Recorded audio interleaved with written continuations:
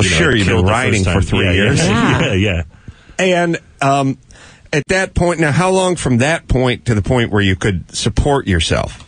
Uh, about three three years. So it wasn't When I turned like 24, 25, I And was Grandpappy Make uh, with you along the way? I mean, did he think it was a good idea? Did other family members try to talk you out of it? everybody tried to talk me out of it. Yeah, and and until my mom actually saw me uh, like turn a crowd around, and it was like this redneck crowd outside of uh, uh, up up outside of Sonoma, and they hated me, and then I made them like me. Yeah, yeah, and I made them like me, and and she was like, "Wow, you can actually do this." Well, you don't do comedy on Punch a Jew Day out there. Some some would mistake you for one, Brian.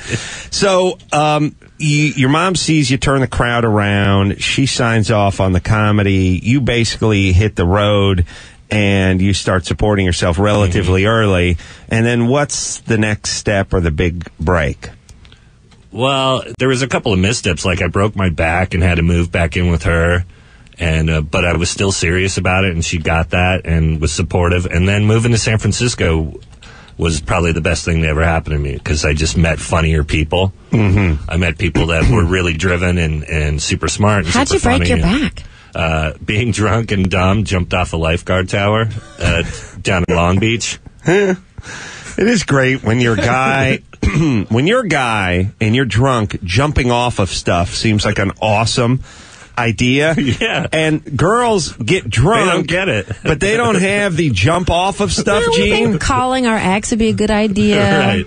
Yeah, you'll do that kind of Crying. stuff, but guys, guys will get Jew ass. guys will get drunk and just start looking up, like what? Hey man, look at that roof. No, And- we were on top of it. We were drinking on top of it, and they all jumped off when we finished our backpack full of beer. And, Yeah. uh, It's a horrible plan where you go, let's get that 12 pack and go to the dam.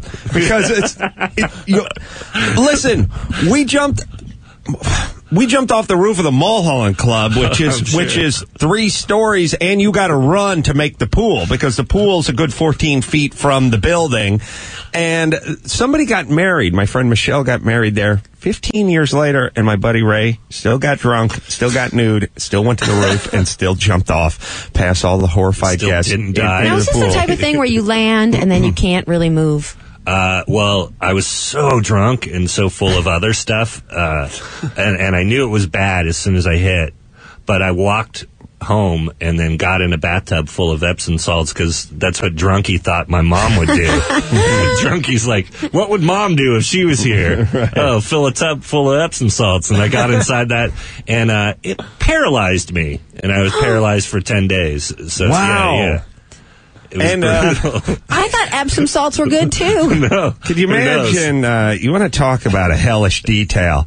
Posehn is paralyzed oh in the tub. Someone's got to get out. I was wearing sweats though. I got I, I did have- my friends Oh, a favor. really? I got in wearing sweatpants. I'd be like, okay, do we have a gantry crane here? What's that thing they use to move uh, manatees, like when they get wounded in the river? Like, we need some sort of harness net? and a daisy picker here, Jaws cherry picker, and something pneumatic with a pump on it. I wasn't as fat back then, but, But I still, was you're a, lot, you're a lot of man. I mean, just the idea of removing you from a bathtub. was a good sixty pounds lighter, but I, I'd I don't be even like, see how you get in a know tub what? with legs gotta- that long. We got to rip the entire tub out, take off the right side of the house, and just crane them out like a Geraldo episode. Right.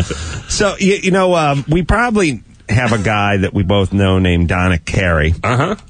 He broke his back, drunk, jump, jumping off a wall. But But he was a kid. I didn't know that. no, no, as an adult. Oh. I mean, kid, adult, you know, 23, whatever. Yeah, that's what But I he's know. just another guy I know who broke his back drunk jumping off a wall. Except for the problem is, is it was Halloween.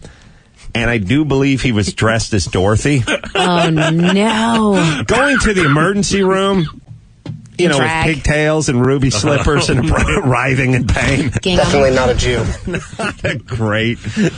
Your lipstick is smeared. You know They've mean? got to cut the gingham dress to get to your Yeah. bone that's broken. You're screaming for Toto. Yeah, Donick broke his back Wow. drunk jumping off something. I I mean, really, there should be a PSA. There's so many drunken teenage boys jumping Yeah. off of stuff. Hi, I'm Brian Posehn. You know, I learned firsthand that uh, booze and gravity aren't great friends. The last thing I remember was saying, "Hey, watch this." it probably was a lot of guys' final words were, "Hey, watch this." yeah, yeah. I uh I uh, when I when we were jumping off the Mulholland Club into the uh, swimming pool that was good good fifteen feet from the from the edge of the roof, naked standing on the roof at two in the morning drunk. I remember giving the drunken speech. I gave the hey we're all drunk, let's not hit the pavement and end up in a wheelchair. As I was giving that speech, my buddy Todd was flying past me, Right. new jumping off Of the course. things, and then everyone went well after the speech, and everyone just jumped off the uh, end of the thing. And no one died. No, look at us. We're all in one piece.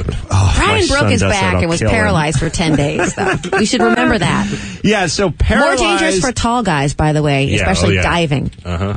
yeah, so you you did you? How do you technically break your back? I landed on my butt and it broke my Oh. spine. It was a compressed fracture and, and it sent like uh, parts of my spine into my spinal column, which is what par- paralyzed me eventually Right. once once it swelled up when I got in hot water. So then you get out of the hospital and you're sort of on your back for the next six months.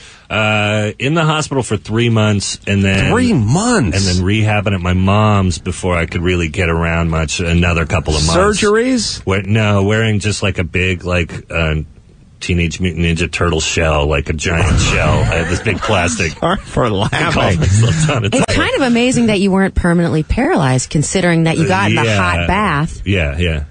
Wow. It just went away. The paralysis went away like after 10 days and everything kind of came back. And Three uh, months in the hospital is a stint. I mean, yeah, that's, and then no surgery because they said surgery would actually put me in a chair. Right. Because they would have to weld my, uh, you know, my spine together, and when they did that, I wouldn't walk again. So, So- it's like, well, let's not do that. They said he would never take the stage again on his own true. two size himself. 17 No, and it sounds cheesy, but I just sat there thinking, I got to get the first thing I got to do is get back on stage. Like, Yeah. Now So that I can still stand, you know, healed by comedy. and I Bri- got serious about it. Brian Posehn, a true success so- story tonight. Yeah, the roof of the lifeguard tower. The lifeguard tower, the steps got to be a good eight feet above the thing. The roof's uh, 25 something feet from the top. Yeah, yeah. so stupid. Hey, hey, the sand does beckon though because it's Yeah. like, does. hey, Oh, it's, sand. It's yeah, the- not soft at that speed and from that height. the, first inch and a half is soft, but eventually turns into into, Yeah. into the earth. Pavement. Brian Posehn, Hollywood uh, Improv. I know man, you're funny. Water does that too. Come on, I'm so soft and cuddly. Come on, jump off the Yeah, roof yeah, into me. yeah. Brian Posehn, Hollywood Improv, Hollywood Improv, Hollywood Improv, Hollywood Improv, Hollywood Improv, Hollywood Improv, Hollywood Improv, Hollywood Brian Posehn, Hollywood Hollywood Hollywood Improv. I know Hollywood Funny. Butter does. Butter does. Soft. Come on. Soft. Improv. Come on. The roof tomorrow. Thursday. Brian on. Improv. Take yourself. Butter does. And